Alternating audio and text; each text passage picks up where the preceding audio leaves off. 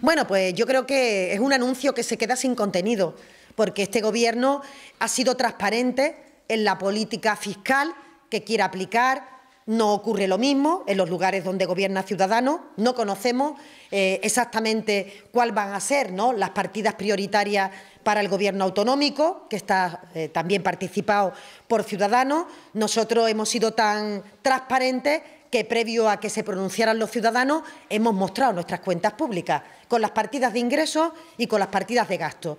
Y en esas partidas de ingresos, como ustedes han podido comprobar, más allá de lo que veníamos diciendo a lo largo de este periodo de mandato, eh, no se va a subir en ningún caso el IRPF ni a las rentas medias ni a las rentas trabajadoras.